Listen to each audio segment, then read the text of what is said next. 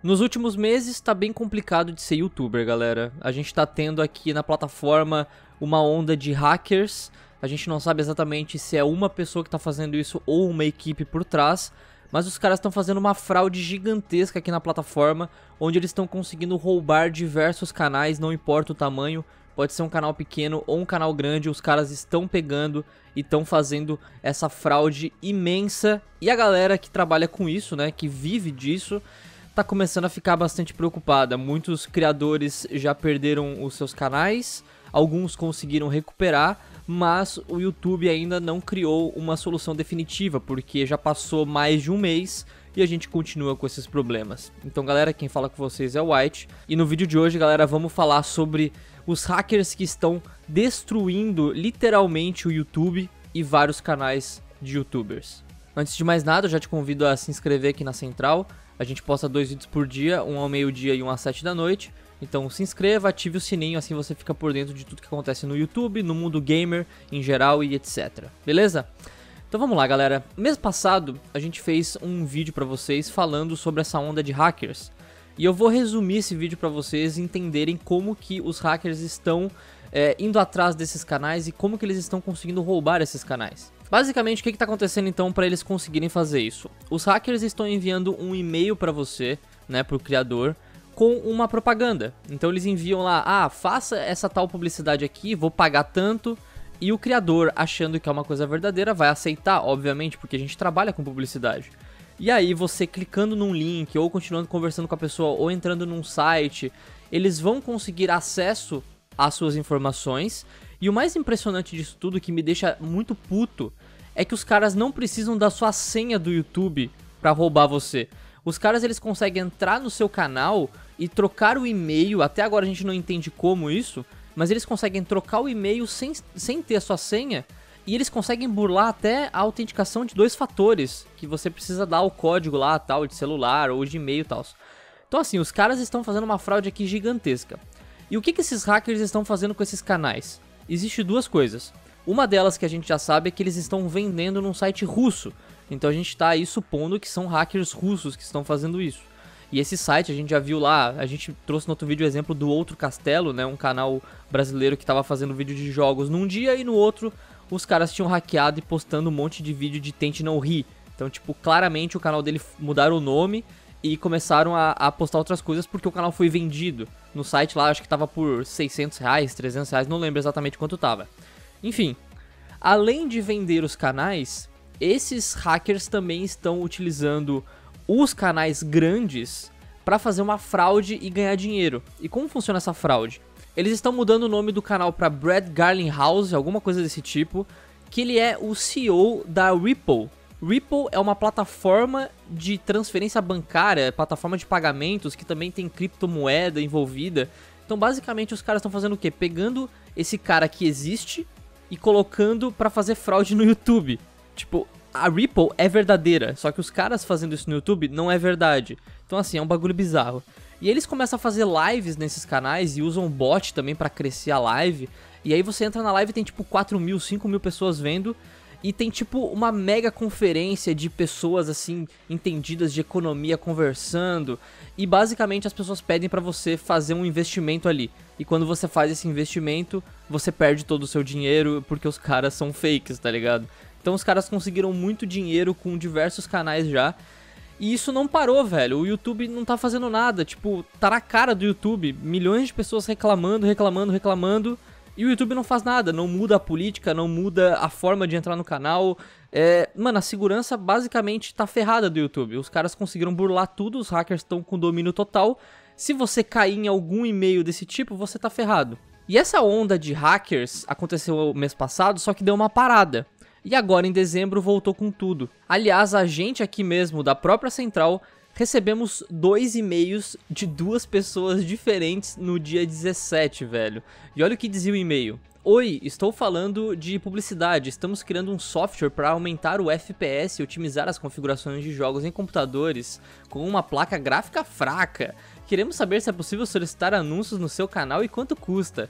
E o mais impressionante é que esse John aqui, ó, com o e-mail gmail.com, né, que já é bem duvidoso, o, tem um outro cara chamado Pull Boost, que também mandou a mesma coisa com a mesma mensagem. E o e-mail também era gmail.com. Então, mano, os caras estão mandando diversos e-mails, tentando diversos canais. Então, tipo, não responda esse e-mail. Não tente pegar link nenhum que os caras mandarem. Mano, não façam isso. É publicidade fake. Se você vê que o e-mail da pessoa já é duvidoso, não clica, velho, tá ligado? E aí, com essa onda voltando de hackers, o que aconteceu é que tem canais gigantes sendo afetados, cara. A gente tem um exemplo aqui do canal do Rodil, eu não conheci o canal dele. Ele postou aqui no dia 25, cara, no dia do Natal o cara foi hackeado, mano. Olha que tristeza, tá ligado? Dá muita raiva isso. Rapaziada, fui roubado, né? Dá RT nesse post, por favor. Perdi acesso dos meus três canais, Festinha do Rodil, Rodil e Rodizeira. E ele explica aqui, né, que ele tá desesperado, o YouTube é a fonte de renda dele atualmente, e ele não tem outra fonte e acontecer uma parada dessas tá deixando ele maluco. Se você entrar no canal dele nesse exato momento, velho, aconteceu o que todo mundo esperava. Ele tinha 347 mil inscritos e mudaram o nome do canal para Brad Garling House, o Ripple CEO. Estão usando o nome do cara. E os caras são tão cara de pau que a foto ainda continua a foto do Rodil, tá ligado? E nesse exato momento tá rodando uma live com 4 mil pessoas, provavelmente muitas são bots, que mostra aquela conferência lá que os caras estão pedindo dinheiro, né? Então, assim, é extremamente triste o que tá acontecendo aqui. O canal que é a fonte de renda das pessoas e simplesmente ser tomada por um hacker que muitas vezes nem precisou da sua senha. O cara conseguiu só tirar o seu acesso do canal e você ficou aí com as mãos abanando.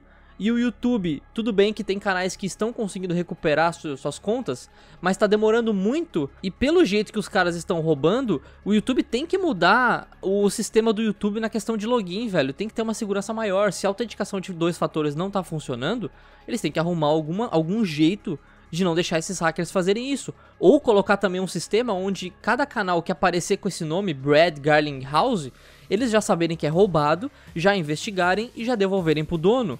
O YouTube não pode, tipo, simplesmente esperar as pessoas irem atrás para isso. Eles conseguem fazer isso. Eles sabem que tá tendo essa onda de hackers há dois meses. Mas parece que não é de tanto interesse, né? Isso que me deixa um pouco irritado. Eu postei no Twitter ontem perguntando para vocês, né, se vocês sabiam outros canais que tinham sido roubados. E vocês me mandaram alguns, como por exemplo do Locutor. A pessoa postava que é, jogos, né? Postava vídeos de gameplays, de jogos tal, de videogame. Não, e aí agora você vai ver o canal, tá cheio de vídeo aqui aleatório asiático e, mano, o cara perdeu o canal, velho. Também tem esse outro canal aqui que postava até um mês atrás várias gameplays aqui, vários vídeos de jogos e agora tá com um monte de vídeo aleatório aqui, tá ligado? Mano, eu fico muito irritado com isso. Tem outro canal gigantesco aqui, ó, de 326 mil inscritos, gringo, que também postava vídeo de compilados, ó, CSGO, Team Fortress 2, e agora, tipo, mudaram, acho que o nome do canal pra Narisan. A foto ainda continua de Team Fortress, e, as, e os vídeos mais recentes são tipo vídeos de animações aleatórios também. Então assim, mano, é extremamente triste isso. Outro canal que vocês me mandaram muito também é o Void Append. Eu não encontrei o canal dele porque provavelmente deve ter sido deletado, eu não encontrei. Mas eu achei um vídeo aqui dizendo que ele foi hackeado e explicando, né? Então dá pra ver que o canal tinha quase 100 mil inscritos e também um monte de vídeo asiático ali. Mano, muito aleatório e o YouTube faz o que contra isso? Ele sei lá, você manda uma solicitação, você vai recuperar aí o canal depois de semanas, se recuperar, né? E o YouTube não tá fazendo nada para prevenir isso, porque, tipo, tem que ter uma solução agora. A gente não pode esperar perder o canal para depois você tentar ajudar a gente a recuperar o canal. Mano, já muda esse sistema de login, velho. Eu não sei o que vocês vão fazer, mas tem que fazer alguma coisa. Esses caras estão deitando e rolando no YouTube e eles estão destruindo o YouTube. Se fosse uma coisa tipo isolada, um canal perdeu esse mês porque um hacker conseguiu acessar a sua senha e roubou seu canal. Mano, beleza, uma vez aconteceu, a gente recupera o canal, o YouTube vai lá, ajuda tal, beleza. Mas, cara, já aconteceu com muitos canais. Muitos. Os caras estão, tipo, com um site de venda de canais. Então o YouTube tem que fazer alguma coisa. A central aqui já sofreu isso. A gente recebeu, tipo, já 15, 20 e-mails pedindo publicidade e a gente simplesmente tá ignorando. A gente até fez um vídeo dizendo tentaram hackear a central. É, a gente tá mais de dois meses já, né? Desde o começo dessa onda tentando ignorar qualquer tipo de publicidade que a gente não conheça. E quando a pessoa, quando a gente vê que é uma publicidade, quando é uma empresa parece ser um pouco mais séria, a gente não conversa mais por e-mail, a gente tenta pegar telefone, pegar WhatsApp, a gente tenta é, fugir do e-mail, fugir de links, a gente tenta falar com a pessoa diretamente. Porque é o jeito, velho. Porque tá difícil. Tá difícil fazer publicidade, tá difícil de aceitar qualquer coisa. Porque o YouTube, né, não é mais seguro, como a gente imaginava. Esses caras aí da, da Rússia, sei lá de onde é, se eles acessarem o seu canal, eles vão fazer o que, o que eles quiserem, vão vender o canal, vão ficar fazendo dinheiro aí tentando fraudar esse negócio aí de criptomoeda. E eu fico muito triste pela galera que perdeu o canal, porque eu sei como é difícil você lutar anos e anos nessa plataforma aqui para crescer. E de uma hora para outra, um hacker vem e rouba você e você fica depois de mãos abanando sem o seu ganha-pão, né? Então, assim, cara, é extremamente triste. Eu espero que o YouTube mude isso, mas até lá, cara, minha recomendação é não acessem mais nenhum tipo de e-mail que vocês não conheçam, não aceite nenhum tipo de publicidade.